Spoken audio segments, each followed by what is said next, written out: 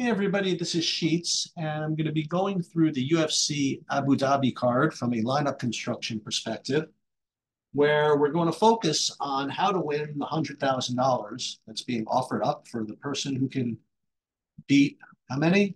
Like several thousand entries and win it by him or herself.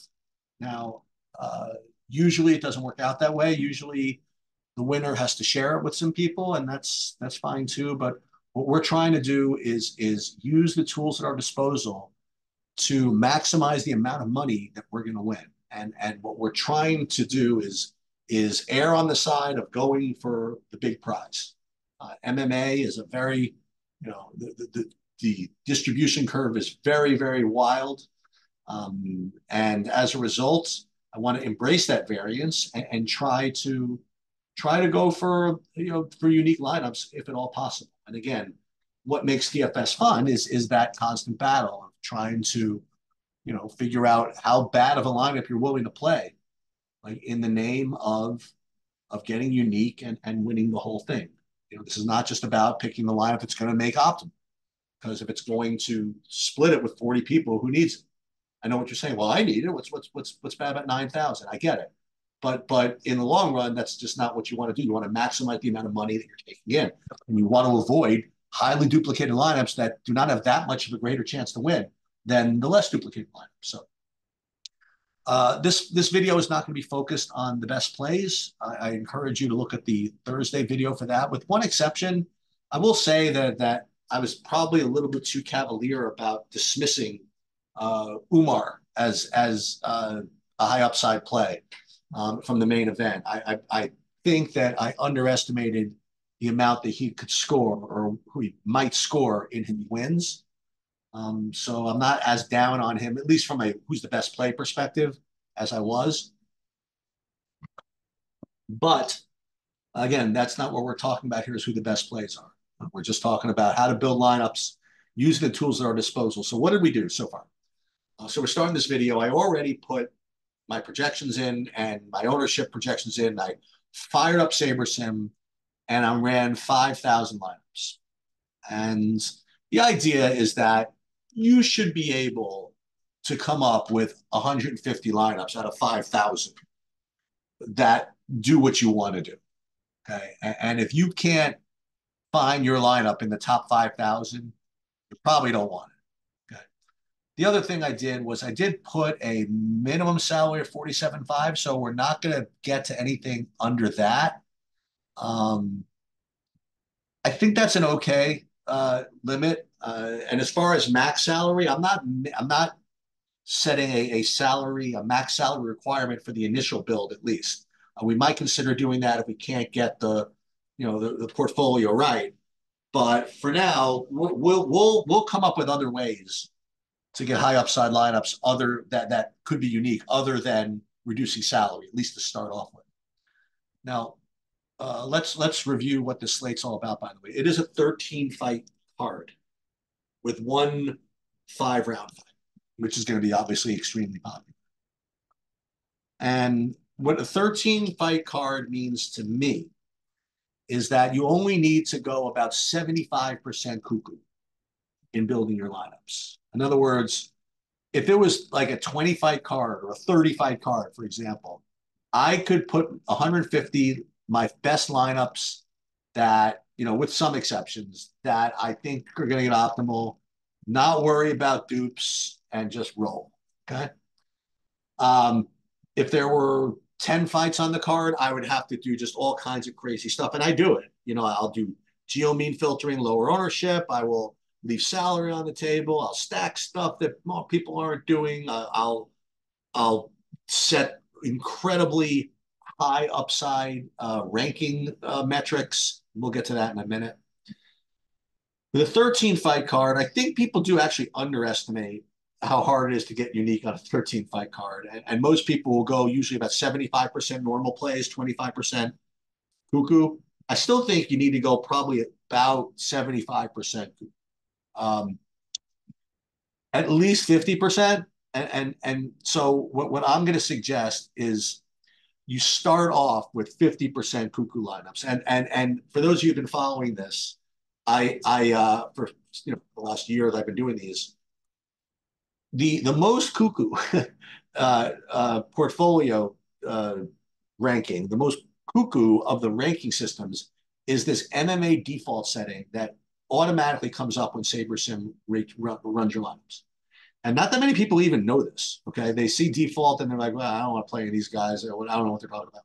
But if you look into the MMA default setting, um, again, what you'll see, click this eyeball here, is this formula which which which tells you how it's ranking these lineups. And the key input is this 99th percentile input here. And we're not talking about the player necessarily, but but the lineup itself, like it's running this this it's simming this contest five trillion times or whatever it's doing.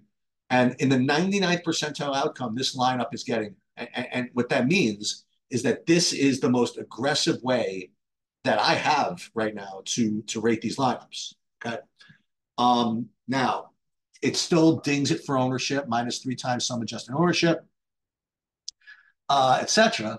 But this is this is the, the the the the cream of the crop as far as like going cuckoo. Now, what I did was I created another metric that almost replicated it.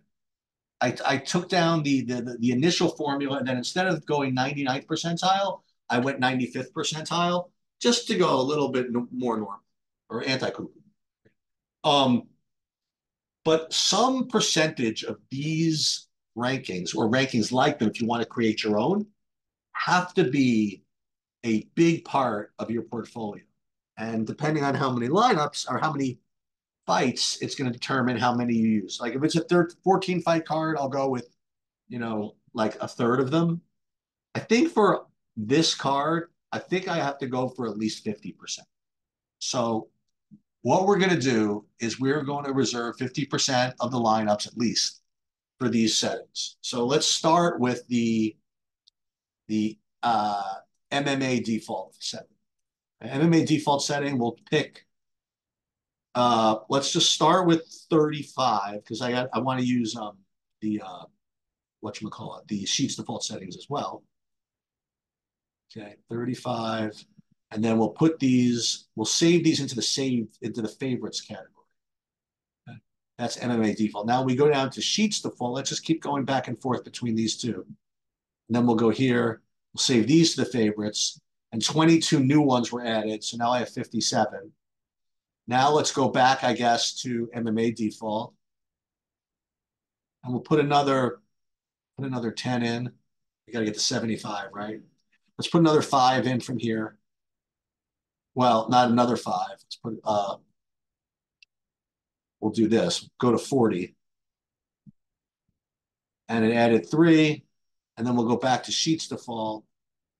And we'll go, well, let's make it 40 here as well four added 64. We want like 11 more. So let's go back. Let's just keep adding until at 70. We'll go back to MMA default and go up back to here. I'm sure there's an easier way to do this. So now we have 85, and that's probably a little bit too much, but that's okay. I'd rather, I'd rather too much of this than too little. Um, so now we have 85 lineups built that are just super duper aggressive. So what what do you do with the rest? Like like do you play 65 for example very conservative lineups with the idea that you you know eh, on average the portfolio is is is is aggressive i don't think so I mean, I, I don't think, I think you have to go for the throat a little bit. I think you have to still be moderately aggressive with the remaining 65.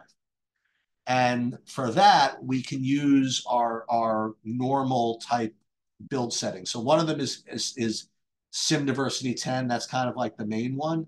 Um, where it does listen, let's let's look at the want to look at it, let's look at the um at the eyeball here.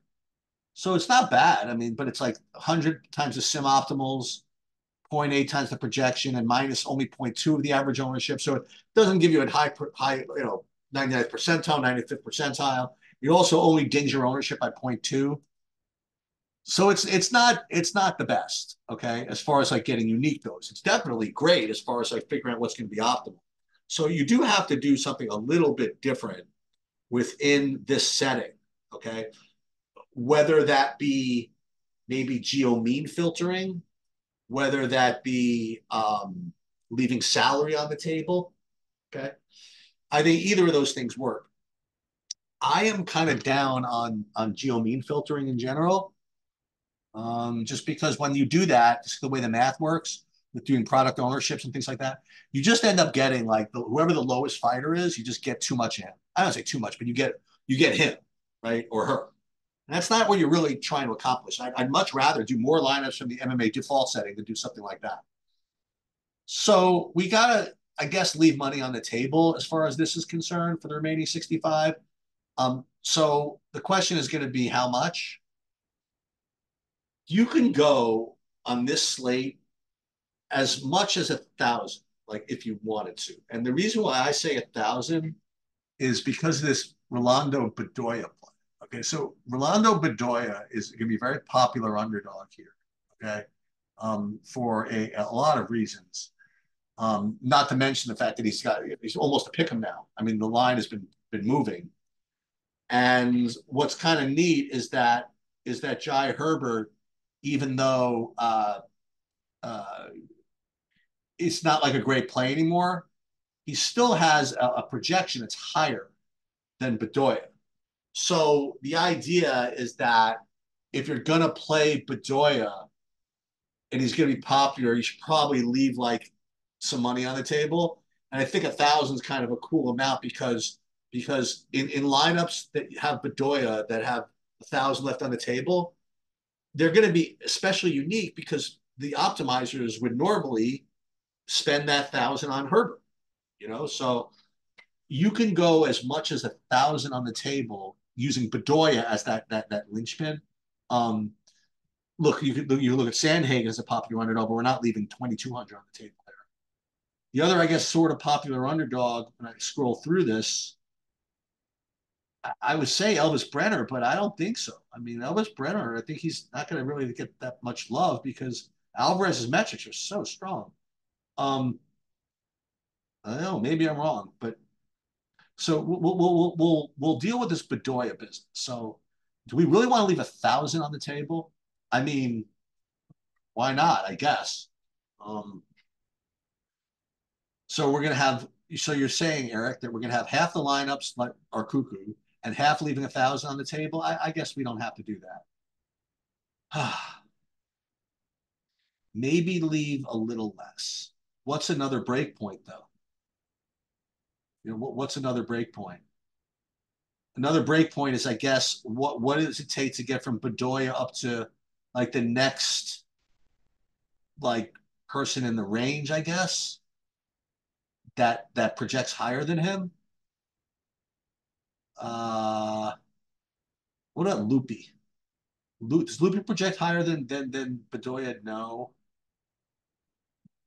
Let's just take a look at projections here. for a minute. So projections for Bedoya 57.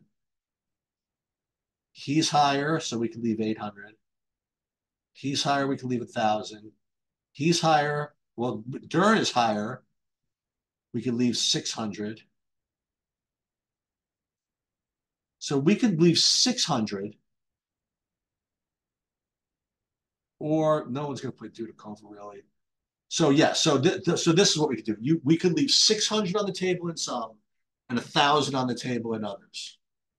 So why don't we do this? Why don't we do that for the remainder of the lineups and we'll split them between this set and the Sims. Okay, so let's start. So what do we have? 85. Um, so we have 65 left. So we'll do 30. We'll do 15 from each set with 600 and with 1,000. Okay, so let's start with Sim Diversity 10. We'll start with 15. And then we're going to add filter. And let's see if we can get to the 1,000 first. Uh, salary less than 49,100. So this is sim diversity at 1,000.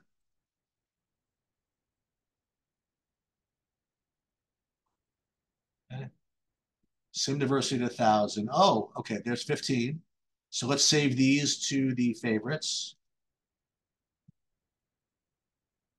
And then we're going to go, we'll get rid of that. And we'll do the same thing for 600. Uh, so less than 49.5, right? Is that what we're doing? Salary less than 49,500. That's good. 15, save these. So now we got to do, we got to run a sim, right? We already, we already put the settings in here and we're going to use just flagship MME, save settings. And then we're going to run the sims. And one thing you'll notice, like I said, I haven't checked to see who we have. And I think that's important. You know, I'm, I'm abiding by my process. And if, if, if I'm going to go through this process and then just at the end say, oh, you know, I don't care. I don't want 32% of Shamil Gaziev. Then I haven't really been true to my process. We're just going to just, we're going to fire this. I'm going to save my big, who I like for the big buy-ins. Um, but for this thing, we're just, we're just, we're just processing here. Uh, all right. So let's uh, look at throwdown, risk adjusted ROI. And we're going to take 15, leaving a thousand on the table. Salary less than thousand. Oh, not a thousand, about 49,100. We're probably going to get some dupes, so it's not going to be able to probably add them all. Let's just like, for example, look at this, favorites. It only added 13 because I already had two of them in there already. Okay, so then we're going to go 49,600. Go 500. We're probably going to get some dupes there as well. 13 added to the favorites. So now we have 141. So we have nine lineups left. Um, let's just let's just do another couple more. Five added, so 146.